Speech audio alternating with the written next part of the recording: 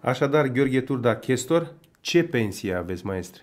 Că nu, să, de regulă, despre... de regulă, de regulă să, să spune. E o pensie oficială de ofițere rezervă pentru munca care am depus-o 52 de ani.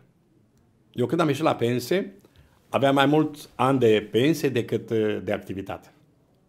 Vă dați seama. Exact, da, da. Vârsta și pensia da. nu se divulgă niciodată. Da, da. Ați câștigat vreodată mulți, mulți bani de pe urma muzicii? Da. Mi s-a întâmplat odată înainte de a pleca într-un turneu undeva peste votare, mai des în America, și am cântat undeva, nu știu pe din afară cum se numește localul, undeva la pe la Piața Unirii, pe acolo. Atunci a, am câștigat atâția bani pe scenă, că era o femeie de serviciu acolo în spatele scenei pe acolo și a venit cu un făraș și cu, cu mătura așa mi-a adunat, adunat uh, tot ce a fost bani pe scenă. Nu știu ce s-a întâmplat, a fost o petrecere. Dar nu maneliști. Petrecere nu. cu oameni de afaceri. Nu era vremea manelelor. Nu, no, nu, no, nu. No. Cu oameni de afaceri. Dacă nu ați fi fost Gheorghe Turda, cine ați fi fost? Preotul Gheorghe Turda. Preotul Gheorghe Turda. Eu am, m-am pregătit în paralel și pentru conservator și pentru teologie. Și atunci la Cluj era facultatea de teologie și după, dacă nu intram din prima la conservator, Dumnezeu m-a ajutat și am intrat din prima, dar din, nu chiar primul, dar, mă rog, cred că din 80 de studenți care dădeam admitere, am intrat al 19-lea în, pe lista e, celor care am intrat în conservator și atunci îmi ridicam, îmi scoteam dosarul de la conservator și mă prezentam la admiterea la teologie. Și vocea impunătoare da. v-ar fi ajutat pentru o predică dar țin minte că am cântat în America la un preot din, din, din Michigan, din Detroit, acolo, și zice, e, foarte bun predicator, să mă rog, din ăsta, preot e, care avea o predică foarte bună în biserică. Zice, domnul Turda, nu vreți să mă împrumutați vocea, vocea dumneavoastră și eu să țin predica? Zice, preot perfect ar fi atunci, da. da. Cum să vă dau cu mare plăcere, luați-l. La începutul da. discuției noastre ați uh, vorbit despre o intenție, despre o carte, Moartea la Români, da. despre un proiect al dumneavoastră. Am un proiect foarte interesant cu care vreau să-mi susțin și doctoratul. Să vă spun ceva, domnul Adi, un doctorat nu se e, promovează și nu se face la 20 de ani sau 25 de ani. Să, să, să treacă timpul peste tâmpla lui Gheorghe Turda și peste părul alb. Un doctorat se face cam la după 50 de ani, 55 încolo.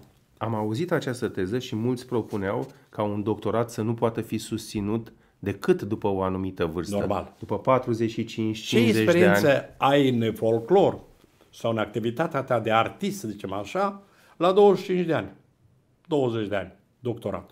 Tot sunt cu tot. A, bă, a, trebuie să fac o glumă cu dumneavoastră.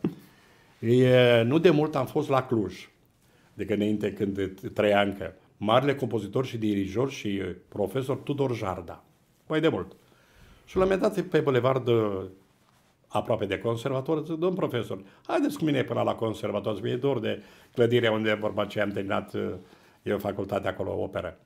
Aici nu, măi, ghiță-mă, bine, el vrea să mă duc la cârciumă, la crâjmă. Nu merg la corhazul ăla. Corhaz, știți ce înseamnă Corhaz? Spital. E un uh, cuvânt e împrumutat de la ardeleni, de la unguri, Corhaz. Da. Ce la spitalul ăla, ce că acolo toți sunt doctori. toți sunt doctori. Da. Ce nu mă duc la Corhazul ăsta? Așa. Și amintiri și amintiri. Deci eu o să-l susțin toamna asta cu unul și va fi și e, e, în paralel această carte despre Săpânța, Moartea la Români și despre cimitirul vesel de Săpânța și de opera lui Stan Pătraș, da? Și despre folclorul de acolo, pentru că acolo s-au petrecut, se petrecut lucruri foarte interesante și la cimitir și în, în folclorul săpânțenilor de acolo. Și va fi secundat această carte va fi și cu, cu un film despre moartea la români și cum sunt obiceiurile la morții din satul Săpânță, din localitatea mea natală, cum uh, ceremonia unei mormântări. Ați răspuns la întrebarea ce înseamnă bogăția pentru dumneavoastră și mi-a spus că familia. familia și iată, aceasta este bogăția. Ce mai, ce mai frumos.